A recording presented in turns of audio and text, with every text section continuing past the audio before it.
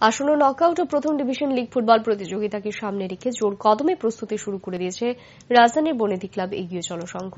গত বছরের knockout champion ও লিগ রানার্স আপ খেতাব দখলকারী দলটি এই বছর দ্বিমুকুট জয়ের আশা নিয়ে মাঠে নামবে বলে জানান দলের ফুটবল প্রশিক্ষক সুজিত হালদার।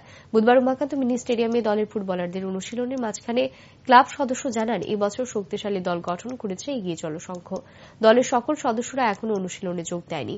আগামী কয়েকদিনের মধ্যে দলের সকল সদস্যদের হাতে পাবে বলে জানান ক্লাব সদস্য অর্জুন ধানুক এবছর এগিয়ে চলো সংঘের হয়ে বিদেশি ফুটবলার সহ বহিরাজ্যের খ্যাতনামা ফুটবলাররা মাঠে দর্শকদের জন্য ভালো খেলা উপহার দেবে বলে তিনি আশা ব্যক্ত করেন।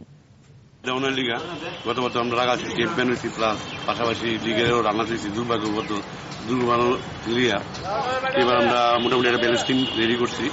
গত ওরা যে বিদেশি আসলো তারাই আসবে এবার নতুন একজন ইজিপ্টে মিশরতে একজন বিদেশি আছে বাংলাদেশ বাংলাদেশ খেলছে। বড় ক্লাব খেলছে বাংলাদেশে।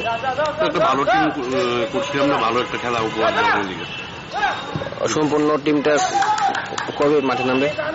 না পরশু মধ্যে আমরা সব সব প্লেয়ার আয়া পড়ব।